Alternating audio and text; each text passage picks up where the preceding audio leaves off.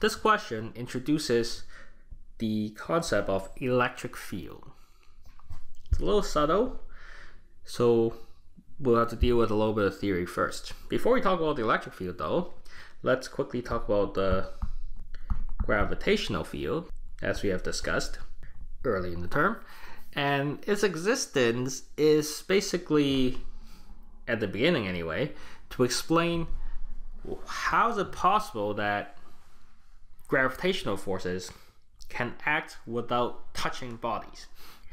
And that would work if you can imagine that there's a mass in the middle, and in order for it to pull on the mass way out here, it's kind of got this invisible background that it's tugging back against, which pulls on this guy. And then we can map the effect of this out by drawing a whole bunch of arrows to say if I put the mass say here it's going to feel a certain amount of force but if I put the mass here it's going to feel a bigger amount of force and in a different direction. So that's why we call it a field. It's very roughly speaking it's like a field of arrows. There's a bunch of arrows kind of distributed in space.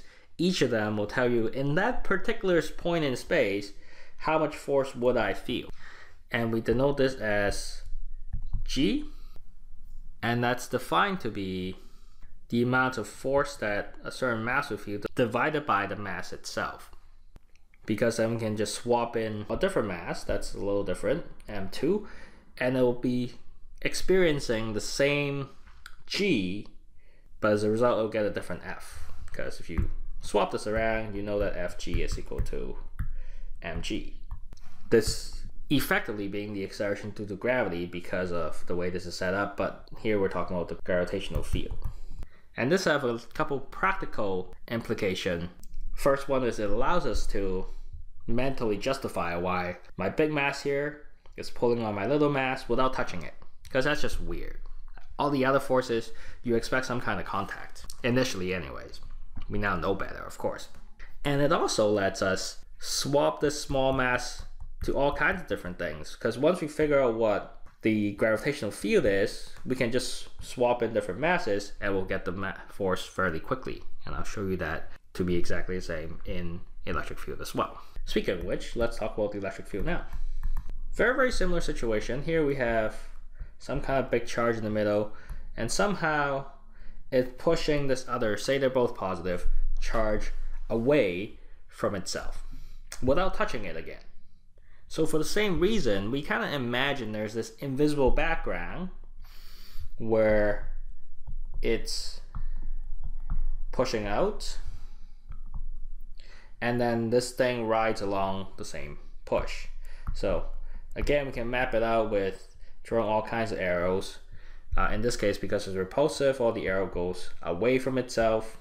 And mapping out this invisible background, we call this the electric field denoted by E with a vector. The size of the electric field will be related to the electric force, except this time we're not going to be dividing by mass because in gravity, mass is what matters. But in the electrostatic force, it's the charge that matters. So we're going to divide by the test charge. Notice though, this charge is the charge that's feeling the force, not the charge that's providing the field. Little q, not big Q. Unit wise, there's nothing pretty here. It's newtons per coulomb. Simple, simple. And similar to how we can write this, we can again write that we just multiply Q by whatever the electric field is and then we'll get the force. So we can swap this charge out and put in another charge, say 2q, and then we know that it will feel force twice as big.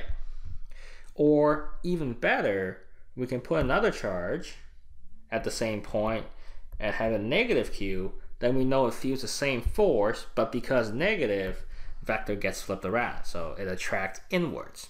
Very handy kind of conception. So that's the electric field. For a point charge, we can go a little bit further because we know the expression for the electrostatic force. And that's going to be K big Q times little q over the distance square and divide by q. So all you have left is k big Q over r squared. And in this case, this is the charge that's causing the field, Q. So after all that theory, which is quite important for electric field because it's quite it's a pretty subtle idea but powerful. And we will be dealing with it moving forward. Once you get wrap your head around what it is, the calculation isn't so bad because it's just what we call a normalized force. Take the force, divide by the charge that it's acting on, and then you'll get the local electric field. Uh, for a point charge, it simplifies to that. Back to the question itself. So here we're saying that we have some unknown charge, and at some point later, notice you don't even need another charge there anymore. You can just talk about some random point in space. And to that point in space, you have a distance of 0.250 meter. And what we're talking about is magnitude, so uh, we don't know if it's positive or negative. We'll assume it's positive, so let's say it points outwards. And then the E over here is 10,000. Like I say, no pretty units, newtons per coulomb. Using the um, equation then, we know that the magnitude of E is equal to K magnitude of Q divided by R squared. So we can solve for Q.